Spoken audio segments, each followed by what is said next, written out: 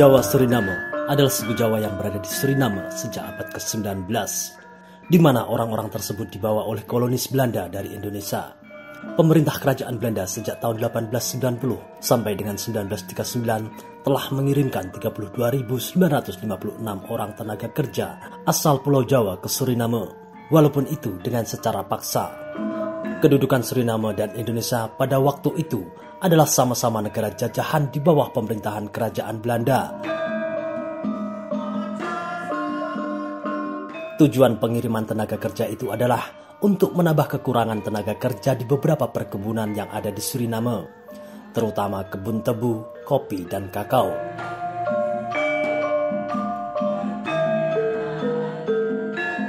Gelombang pertama pengiriman tenaga kerja itu diberangkatkan dari Jakarta pada tanggal 21 Mei 1890 dengan kapal dan tiba di Suriname pada tanggal 9 Agustus 1890.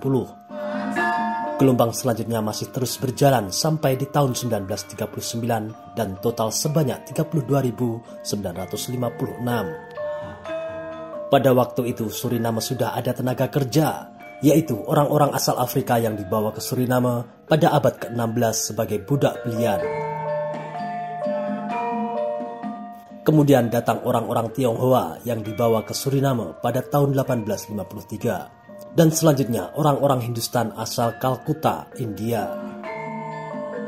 Sampai dengan tahun 1930, para TKI itu dipekerjakan di perkebunan tebu, kakao, kopi, dan pertambangan bauksit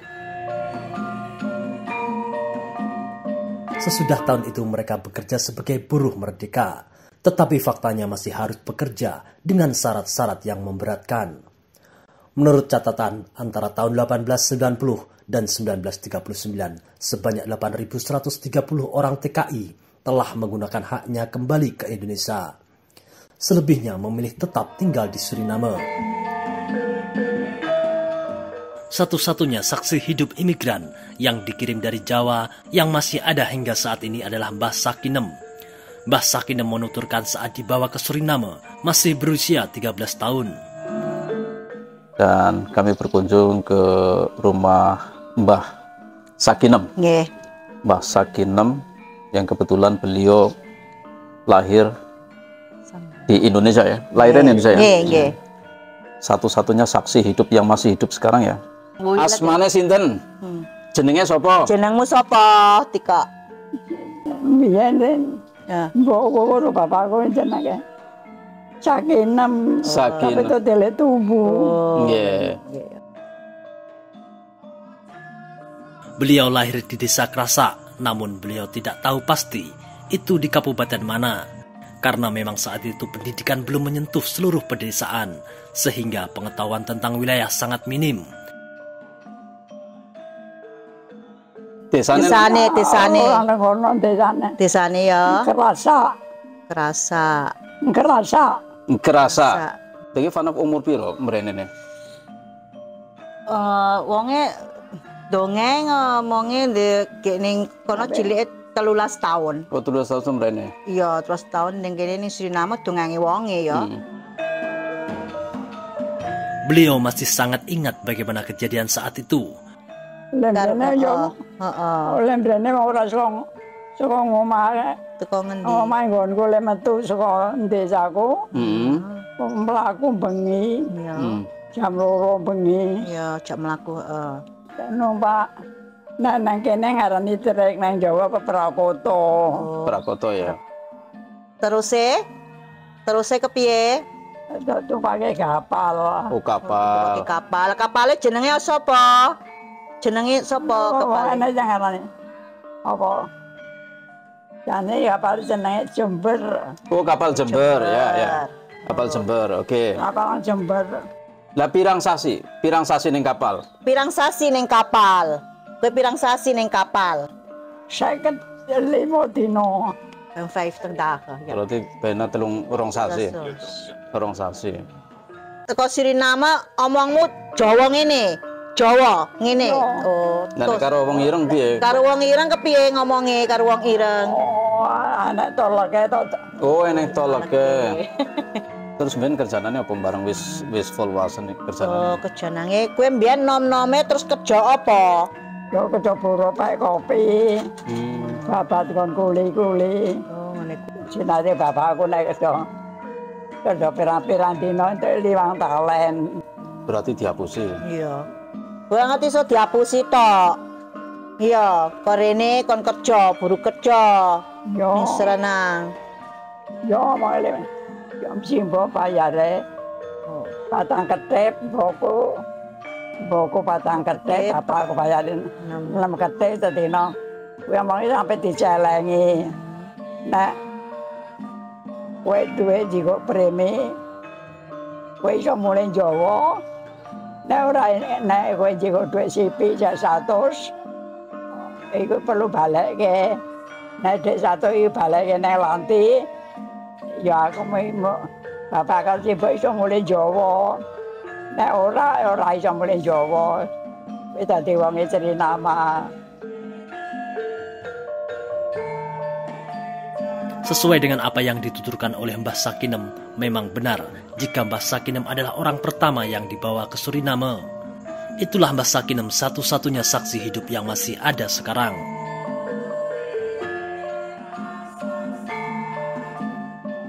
Pada tahun 1950, di Suriname diadakan pemilihan umum.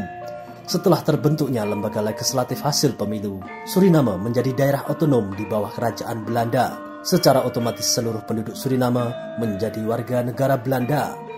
Ketentuan ini ditentang oleh sekitar 75% masyarakat Jawa Indonesia.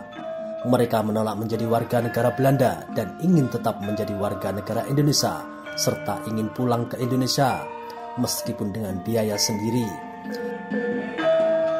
Akhirnya mereka berhasil mengirimkan delegasi ke Indonesia menghadap Presiden Republik Indonesia untuk menyampaikan keinginannya.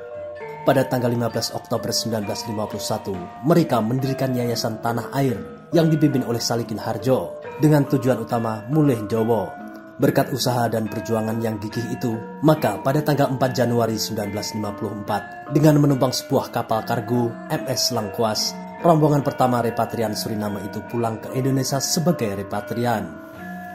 Sesuai rencana, rombongan pertama itu akan diikuti oleh rombongan kedua, ketiga, dan seterusnya. Sebagai akibat putusnya hubungan diplomatik antara pemerintah Indonesia dan pemerintah Belanda karena masalah Irian Barat, maka rombongan kedua dan seterusnya batal pulang ke Indonesia. Hubungan diplomatik antara pemerintah Belanda dan pemerintah Indonesia sudah baik, bahkan Suriname sudah membuka kedutaan besarnya di Jakarta. Tetapi gagasan dan usaha untuk meneruskan gerakan Mulih Jowo belum pernah ada lagi.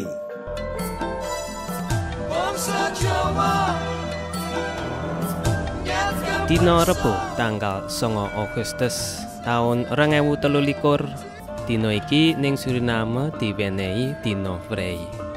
Wong Jawa padha ngenengake kegiatan ning kutha Paramaribo lan distrik Komowene kanggo mengeti dino imigrasi iki. Meskipun orang-orang Jawa Suriname telah lebih dari 100 tahun tinggal di Suriname, kenyataannya mereka masih memiliki adat dan kebiasaan seperti di Pulau Jawa. Antara lain masih ditemukannya pesta tayuban, wayang kulit, wayang orang, ludruk, tarian jalan kepang, dan yang lain-lain.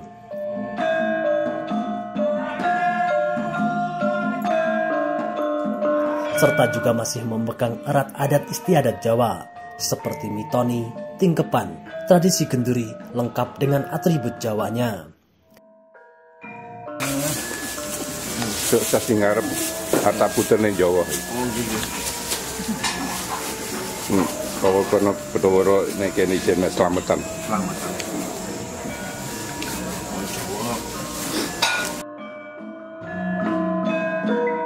Sing duweni pengalaman wis pirang tahun? Eh, ongeveer 25 jaar. Dan tentang liar iku selawe tahun ibu wis duweni pengalaman ngedusi. Lah iki ngedusi kaya ngene iki mbutuhake apa, Mbak? Ya, mutoke ya werna-werna ya banyu warna pitu. Kembang apa itu ya? Ketimbang kembangnya ya warna pitu. Iki jenenge apa, Mbak? Iki jenenge cok bakal. Cok bakal ya. Ya, Iku iki gambar. gam- tegan ya. Nak Tekan ya. ya tegan. Sing digambari apa iku? Sri Kandi karo Janaka. Sri Kandi karo Janoko. Iku simbolis nak jaban bayi lahir besok nek lanang ya pelune ganteng kaya Janoko. Nek wedok ya kaya Sri Kandi pelune Ayu. ayu iso.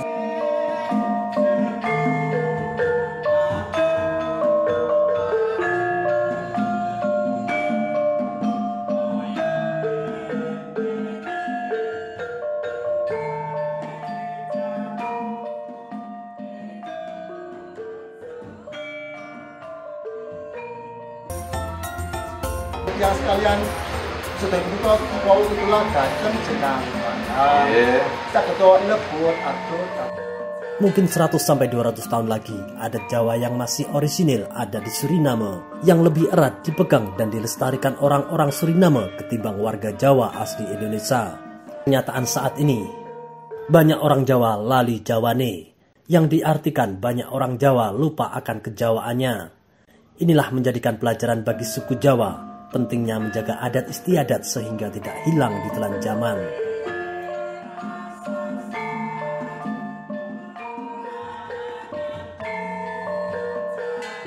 Di Suriname, di distrik tertentu yang sebagian besar penduduknya orang-orang Indonesia, suasana Jawa masih terasa kental. Nama kampung dan jalan-jalan di Suriname juga ada yang menggunakan istilah Jawa. Saat ini kami berada di jalan, sebuah jalan namanya Sidodadi. Sidodadi, jalan antara Kuataweh, kemudian Saramaka, dan ini yang ke Buntung. Sidodadi, ya.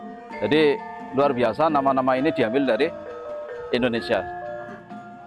Di mana pasar tradisional di sana masih terlihat kental adat dan bahasa Jawanya. Dodol napa? Dodolan apa niki? Dawet. Dawet. Oke, aku tuku dawet e. Terus itu Eh, loro. Isi iso omong Jawa apik ya. Eh. Di era modern ini setelah adanya media sosial, banyak terbantunya Jawa Suriname yang menemukan keluarga aslinya di Jawa.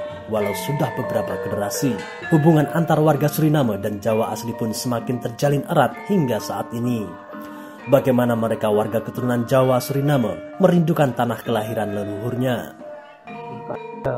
kadung wayahe Facebook aku batin aku najan wis tuwa arep tak jajal tak boleh. So aku gawe profil terus aku takut-takut anggur eneng konco sing kok alamate padha tak like terus tak add. Dulurku kabeh wae seneng Indonesia. Aku ora bakal lali Makanya hatiku tak eling-eling.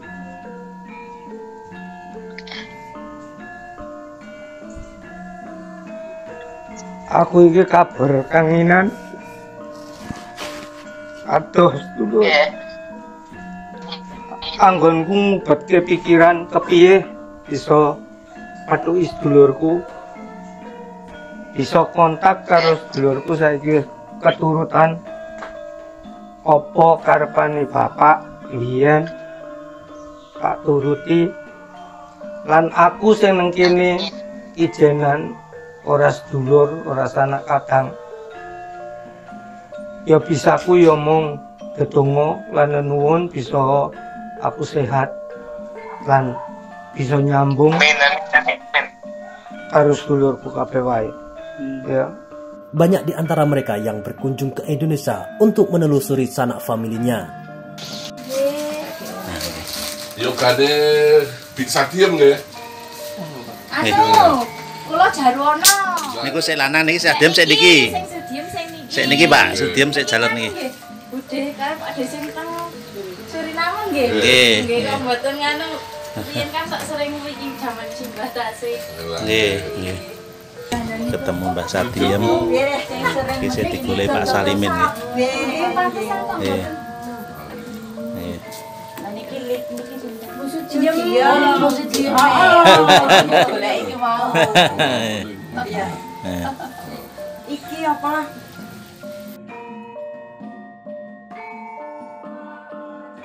Suku Jawa Suriname saat ini menduduki etnis terbanyak pada urutan ketiga setelah Hindustan dan etnis kulit hitam dari Afrika. Sedangkan agama di Suriname adalah agama Kristen, Hindu, dan agama Islam. Menariknya di Suriname ditemukan masjid yang berkiblat ke barat, sedangkan jika melihat posisi Suriname seharusnya berkiblat menghadap ke timur. Namun saat ini sudah didirikan masjid di sampingnya yang menghadap kiblat ke timur. Wajar jika dahulu masjid di sini menghadap kiblat ke barat, karena memang belum adanya pengetahuan tentang tata letak wilayah secara geografi. Dan di tempat saya berdiri ini, kita berada di dua masjid yang mempunyai kiblat yang berbeda. Apa itu perbedaannya? Yang sebelah kiri saya ini, kiblat dari masjid ini menghadap ke timur. Sementara yang sebelah kanan saya ini, seberang dari masjid ini, dia um, mempunyai um, kiblat ke, ke sebelah barat. Hal itu disebabkan karena dulu ya orang-orang kita yang datang dari Indonesia mempunyai patokan, mempunyai pedoman bahwa sholatnya orang Indonesia itu harus menghadap ke di mana matahari tenggelam. Lah sampai Suriname mereka tidak punya pengetahuan, akhirnya terbawalah budaya itu sampai sekarang.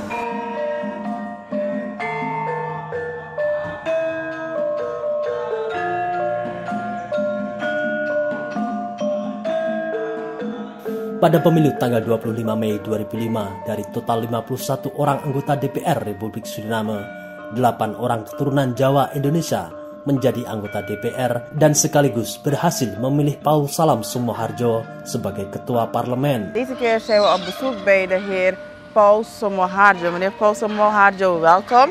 U was serta beberapa menteri Suriname juga keturunan Jawa. Ini menunjukkan bahwa kehidupan beragama, berpolitik, kondisi perekonomian, sosial dan kebudayaan orang-orang Jawa di Suriname jauh lebih baik daripada leluhurnya terdahulu yang hanya pekerja imigran yang dipaksa bekerja jauh dari negeri kelahirannya. Itulah ulasan tentang Jawa Suriname.